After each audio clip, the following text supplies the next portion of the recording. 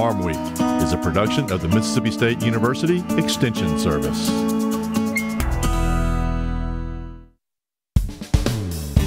Today on Farm Week, the old time butcher shop may not be as popular as it once was, but thanks to some folks, it hasn't disappeared completely. We'll show you how some business owners are making sure their shop stays a cut above. Baby, it's cold outside. For these plants, the winter temperatures are no sweat. See if they'll work for your garden. And here's something to put under the tree a jar full of treats and healthy goodies. We'll give you the tips to make one yourself. For one couple, when farm life came calling, they answered. See how they traded in big city living for a pig pen and some wide open spaces. Farm Week starts right now.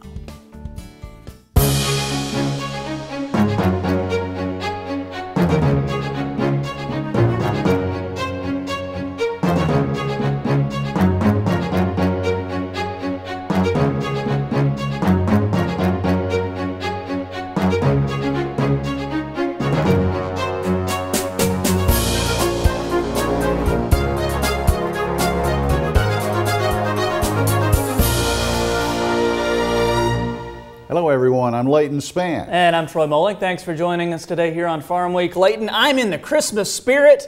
How about I, you? I sure am. Love these decorations, love this time of year, and best wishes to all of you, our dedicated viewers. Too. Yes, most definitely. We, we appreciate the viewers spending some of their uh, Christmas holiday with us. Our first story is going to be an extended look at a special man we introduced you to several months ago. Paul Good has spent 90 years on this earth, and more than 70 of those years he's been farming. Earlier this year, he was nominated for the 2016 Sunbelt Expo Southeastern Farmer of the Year Award, and as you'll see from this piece, it couldn't have happened to a better farmer and a better man. When you've been farming for 70 years, you can expect your fair share of admirers. And for Paul Good, people flock to him like caterpillars to a cornfield. He lives and breathes farming and he loves family and friends and he loves to share his information with the community. Just an outstanding individual. That's Dennis Reginelli, and he's known Paul Good for 25 years. This past fall, he even nominated him for the 2016 Sunbelt Expo Southeastern Farmer of the Year Award. A farmer from Arkansas won, but that didn't damper Dennis's thoughts on his friend. If you look at Mr. Good, you look at the little things that he's doing that make big impact on his farm. And when you start looking at uh, what his impact has made, not only to the county, but to the state, and we in Extension take a lot of those things that he has uh, initiated and we take them to the other growers in the county. Paul has spent 42 of his 90 years on this earth farming in Mississippi. He started off as a cotton kingpin, but more recently, he's farmed soybeans, corn, catfish, and wheat across 1,000 acres. We continually keep thinking every day and we take evaluation every year. What can we do to make our farming practice more successful and how are some of the practices that we might have to change to fit the crops that we are raising. For Mississippi State Extension, almost three quarters of a century of experience has proven to be invaluable. When we do projects with Mr. Good uh, and the results are shared, uh, you know that it's uh, that it come from an outstanding farm with uh, you know, all the practices done correctly. So not only can uh, we share information with him, uh, he's sharing his resources and land with us so we can get valuable data so we can share around the state. It's a partnership that began when Paul moved down south from Indiana over four decades ago. Through this all, when I began to ask for information, they volunteered to help me in any way that they could. And by working with Mississippi Extension and also USDA uh, with uh, various tests and various projects, why it became very helpful to me, and I'm sure without it, it would have been very difficult. He's been able to thrive in an unpredictable field by learning new technology and keeping a diverse marketing portfolio that has included selling seed and exporting goods down the mighty Mississippi. He's an expert in marketing, Uh, he studies uh, material all day long, even on weekends. He's looking at those things that's going to make him a better operator.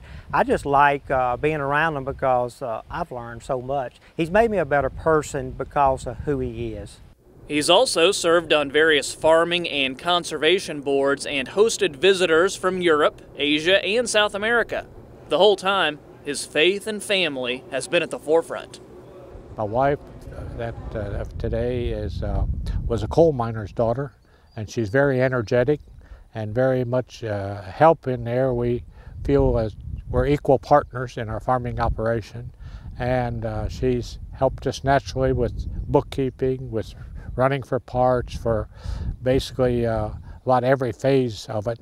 So I guess you could say that life is all good for Paul Good, a good farmer and a good man. Reporting in Brooksville, Mississippi, I'm Troy Moling. Well, are you looking for an outdoor container that is tough enough to stand up to winter's cold temperatures? Well, in this week's Southern Gardening segment, Extension horticulturist Gary Bachman shows us some plants that can give us some color and handle the cold, but they can also form unique combinations.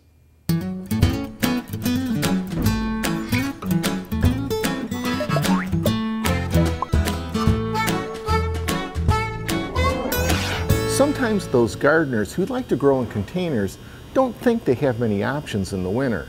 Today I'd like to share a few ideas for cool season combo containers.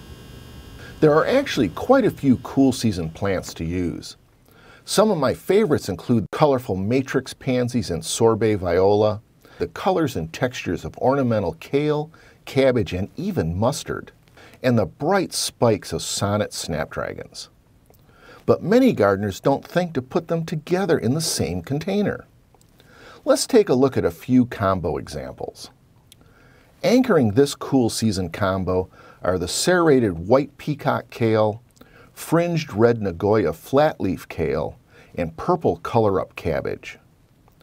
Adding color are matrix pansies and one of my favorite container foliage plants, bloody sorrel, with its sanguine veins. Now this cool season combo has a purplish red theme. The large frilly leaves of red Seabour kale have reddish veins and the tight leafy head of glamour red kale is tinted purple. Matrix raspberry Sunday mix pansies add to the color theme. Our next combo container has the serrated green leaves of kale and pretty colors of sonnet snapdragons. I love the color pop of Matrix Blotch Mix Pansies. This combination container also features the rather fierce-looking red-tinged leaves of Red Dragon Mustard. So visit your local garden center and pick up some plants for your own cool season combo. I'm horticulturist Gary Bachman and I'll see you next time on Southern Gardening. Hopefully you've got all your Christmas shopping done, but if you're at a loss for gifts to give friends and coworkers, we'll help you out. In this week's episode of The Food Factor, MSU Extension's Natasha Haynes gives you a healthy and creative gift idea that won't break the bank. Do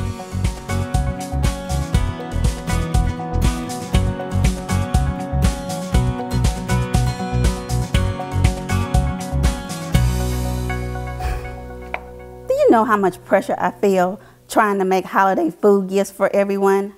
I mean, it has to be perfect. A healthy treat that's not expensive and doesn't take forever to make. I need some food factor elves or something.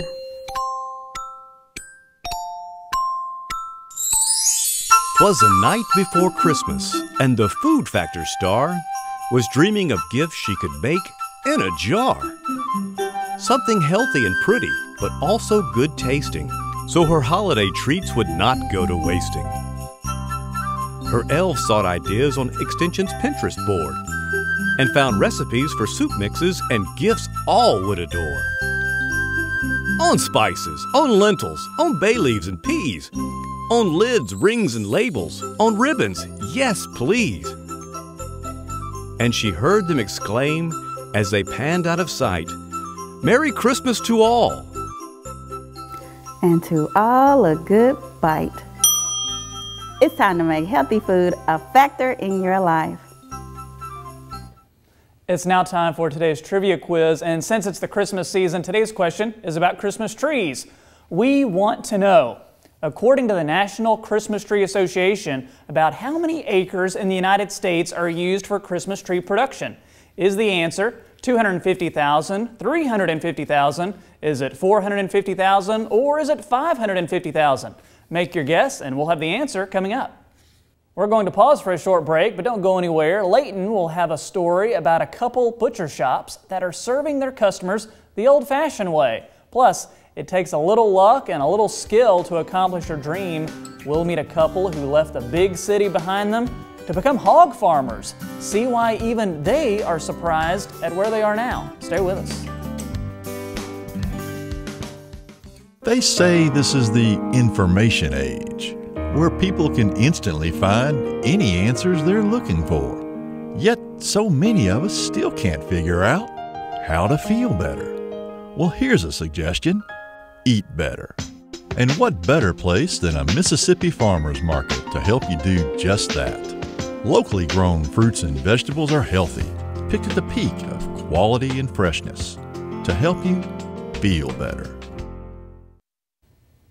We at Mississippi State Extension want you to know how grateful we are for your support through all these years.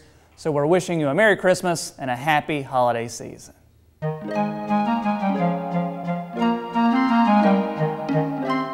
want to take this opportunity to wish all of the Farm Week viewers a very Merry Christmas and Happy New Year. Merry Christmas from the State 4-H staff. Merry Christmas, everyone, and remember to put your hay on the roof for Rudolph. Merry Christmas and Happy New Year! From the College of Forest Resources and the College of Agriculture and Life Sciences, Forest and Wildlife Research Center, Mississippi Agriculture Forestry Experiment Station. I hope Santa brings you some great gifts this year. Merry Christmas! This holiday season, make healthy food a factor in your life. Merry Christmas from Ag Communications. Happy holidays. Merry Christmas. Merry Christmas. Merry Christmas and Happy New Year. From all of us here on the Farm Week crew, Merry, Merry Christmas, Christmas, Happy, happy holidays, holidays, and Happy New Year.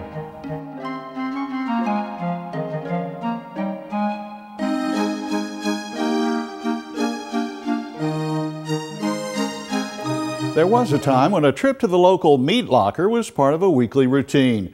The butcher often knew every customer by name and could offer help with a selection or two. The implementation of centralized meat cutting reduced the necessity for multiple stops on marketing day. However, you're about to see the local locker has never been completely cut out of the picture. For decades, small butcher shops and meat lockers were a staple of American life. These mom and pop establishments began disappearing, however, as more families began to buy their meat at one stop grocery stores. We've seen a fair amount of them disappear. Uh, they're older facilities, and when the current owners retire or move on through lack of interest in doing the work and are the building being old and maybe not up to date with its, you know, its, its equipment and standards that the government like to see in a building, they close down. But that downward trend may be slowing or even reversing. Fairway Stores opened a brand new old concept meat shop. The store, considerably smaller than its typical grocery, aims to capitalize on both the company's reputation for quality meat and nostalgia for old butcher shops. I hope that the customer comes in this Fairway Meat Market has an experience of once again, the old style meat markets from back in the 30s, 40s, 50s, 60s, the way old fairways were from the standpoint of uh, when they would see their butcher at the meat block, etc. But uh, we've taken that, we've kept that feeling, and we've modernized it. Fairway Meat Market, the company's first, has a meat counter that is 16 feet longer than those in its typical store. It also features fresh seafood and grass fed beef. And while larger metro areas such as New York, Chicago, and Los Angeles have new shops where the meat cutters like to call themselves artisanal butchers, there are others scattered throughout the nation where that kind of work never went out of style, even if those butchers don't apply trendy lingo to what they do. I'm not, hey Mike, you can edit all this, right? Yeah. What's an artisan butcher? Although Chris Kramer would never consider labeling himself this way, he is about as much an artisan, a marketing term that hints at a craftsman cutting by hand as a butcher can get. Kramer is a fourth generation butcher who has run his own shop in Elmwood, Nebraska since 1981. His great grandfather was a butcher in Denmark. His grandfather, who owned a horse slaughter plant in Papillion, Nebraska, told stories of how some ate horse meat, normally used in dog food, during the lean years of World War II. Kramer's late father ran several butcher shops in his lifetime in both Nebraska and Kansas. In the late 1920s, the first meat lockers were opened in the U.S., and farmers or others rented frozen food storage to preserve the meat they had butchered. From, from the early days, settlers, so to speak, they did their butchering obviously on the farm. Uh, they had cellars. They would uh, cut ice from ponds and take it into their cellar, cover it with hay, and they would have, if I recall, they could have cold meat until July if, under the right conditions and they had enough ice. And then if it moves on from there, it got to where, you know, electricity and you, and you had your small locker plants like this start up. By 1940, almost half of U.S. homes had a refrigerator. Eventually, demand for the lockers fell off. Many of these surviving shops diversified by adding butchering services. According to census data, a large decline occurred between 1992 and 2012 when 45% of remaining U.S. meat shops closed their doors. More than 300 miles to the northeast in southern Minnesota is another meat locker that survived the decades when so many others shuttered. The 81 year old Conger Meat Market was opened in 1935 by a Czechoslovakian immigrant and butcher named Ray Butch Bohanek. An area farmer had convinced Bohanek to leave the Lake Mills, Iowa butcher shop where he was working to open his own in Conger, Minnesota. Milford Bohanek, who ran the operation with his wife Beverly from 1959 to 2000, says his father built the shop on skids, thinking he could have the building dragged to a new location if Conger let him down. There wasn't a basement put in there until, well, I don't know, the number of years afterwards, and they lifted the building up and, and put a basement underneath it, yeah. The Bohanek family ran Conger Meat Market for 70 years before selling it 11 years ago to current owners Jeremy and Darcy Johnson. What we originally talked about was to leave everything the same. We didn't want to change anything. We didn't want to change the recipes, the tried and true traditions of the Conger meat market. They worked for 80 years, so that's not something we are going to change. The couple has tried to keep the big things like Butch Bohanek's traditional recipes from Czechoslovakia and little things like handing out samples from the meat smoker to kids while making plans for future expansion. We thought it's a great opportunity um, to buy an established business and to be self employed. Currently, the meat sold in their small retail shop comes from larger federally inspected meat packing plants that are scattered throughout the nation. They, like many smaller state inspected meat lockers, are limited to connecting livestock producers with buyers looking for a custom cut quarter or half of beef, pork, or venison. They also are restricted to in state sales. Our job, in a sense, is easy because we are surrounded by so many successful farmers, and the quality of the meat that's coming in is just second to none. And I think uh, people, the customers, are happy when they come through our door because they know they're going to fill their freezer with um, locally raised, good quality beef or pork. Next year, Darcy and Jeremy Johnson hope to open a small, federally inspected meatpacking plant in an old creamery next door. Because they will be federally inspected, they will be able to sell locally raised meat in smaller amounts directly to customers. The designation further allows for sales across state lines. So far, the creamery they are renovating for the Conger Meat Market expansion does not appear to feature any skids. I think uh, the Conger Meat Market will be here for another 80 years. Well, back to the trivia quiz now as we wrap things up for this portion of Farm Week. Our quiz question again How many acres in the United States are used for Christmas tree production? Well, the answer is B. There are about 350,000 acres in production for growing Christmas trees, much of that preserving green space. Sometimes the constraints of living the urban life require city dwellers to cash in their subdivision for wide open space. Few, if any, are able to successfully make the transition to the great outdoors. However, as Farm Week's Amy Myers tells us, one family's step toward country living is paying some unexpected dividends. In the spring of 2013, Jason and Angela Johnson launched Lucky George Farm. It had been their dream to live on a small farm, raising and growing their own food and at the same time being good stewards of the land. Without realizing it, the couple stumbled upon a successful strategy to produce pork with a purpose instead of pork with a profit. What grew from their hard work has gone far beyond their wildest dreams. It fit the way that we wanted to farm, which was hands off not intensive farming, hands off an extensive model, a traditional model rather than a conventional model. On 20 acres, the Johnsons carved out a multi species plan to pasture heritage breed chickens, geese, sheep, goats, cows, and pigs. I thought, what if we could find a system that honored the animal and allowed them to grow to uh, an older age, be raised outside, and um, in an environment that you could put many animals in. It produces a product that's different than what you would find elsewhere. To help offset input costs, the family began selling various cuts at farmers markets nearby. Word spread about their product line, and an urban audience started to take notice. More products that you can offer, you can bring to the customer, you know, drives an interest. So there's a, there's certain producers that maybe only have beef or maybe only have pork, but if somebody walks up to our booth, they're like, oh, you have quail eggs, you have chicken eggs, you have uh, you have mutton, which is an adult sheep. That's something that nobody sells. We have goat meat, and we have large black pigs. So you know, it's there's an interest there that just doesn't exist um, among other producers.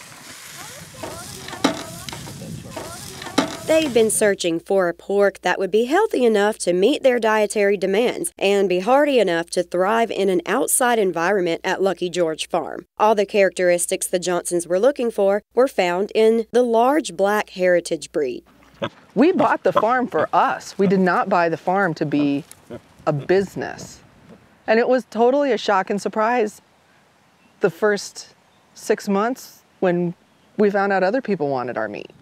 Some of those other people showing interest in Lucky George products are part of a movement known as Cochon 555, a group that promotes heritage breed pork and those who produce it. Through culinary competitions staged across the country, organizers pair up top chefs with small family farms in an effort to raise awareness of these unique breeds. And when you find it, it's small family farmers who are raising it. It can't exist on an industrial level. So it's almost every time that you buy Heritage Breed pork, chew on it, you're just supporting family farming. It's a direct hit. Organizers at the Minneapolis semi-final Cochon 555 event began looking to pair up the Johnson family with a top chef who wanted to work with the large black breed. Jorge Guzman, executive chef for Surly Brewing Company in Minneapolis, Minnesota, answered the call. Guzman believes in supporting heritage breed production to educate consumers on the differences in taste and character found in old world breeds. So, knowing that we have a responsibility, that's how we source our food. And hopefully, it just it's a trickle down effect. Like, this is the way that most restaurants should purchase. On any given Saturday, Surly Brewing Company restaurants will see 2,000 customers, far too many for small operations like Lucky George Farm to provide a large enough supply. But for special occasions, Guzman and his team purchase and prepare a plethora of plates using exclusively heritage breed pork. Well, that's your, your pork chop and your loin and then your belly so what we have for you. With a win at Cochon 555 in Minneapolis, Guzman, his team, and Lucky George Farm earned a seat at the big table in Snowmass, Colorado for the Grand Cochon. Ten teams from across the country went head to head in hopes of being recognized as having the best tasting pork in the country. It is amazing to see, you know, a farm like Lucky George jump into the game do something they believe in, be very passionate about it, and that product showcases what the stewards of those animals are doing, and it comes through in that animal. It comes through on a plate for a chef. These pigs have a life, and they're going to one day be on your plate. They have a life with purpose, and hopefully, we're raising them in a purposeful way. Well, they certainly had a dream and they accomplished it. They sure did. Sounds like they're getting pretty successful at it too, uh, for they? sure, yeah. yeah. yeah. All right, well, that's going to do it for this week's show, but make sure you tune in next week. Last show of 2016. It's going to be a good one. Nostalgia is still alive and well. On one piece of land, we'll meet a farmer who's doing it the old fashioned way in order to help a younger generation appreciate the past. And from chicken noodle to lobster bisque, the possibilities are endless when it comes to soup. We'll tell you about the healthy benefits of this cold weather treat. And with the downturn in milk prices, we'll look to see how some farmers are diversifying their portfolio. What they're choosing to produce may surprise you. All right, well, for the whole Farm Week crew, I'm Troy Moling. Thanks for joining us this week. I'm Leighton Spann. Once again, Merry Christmas to each and every one of you. We will see you next week.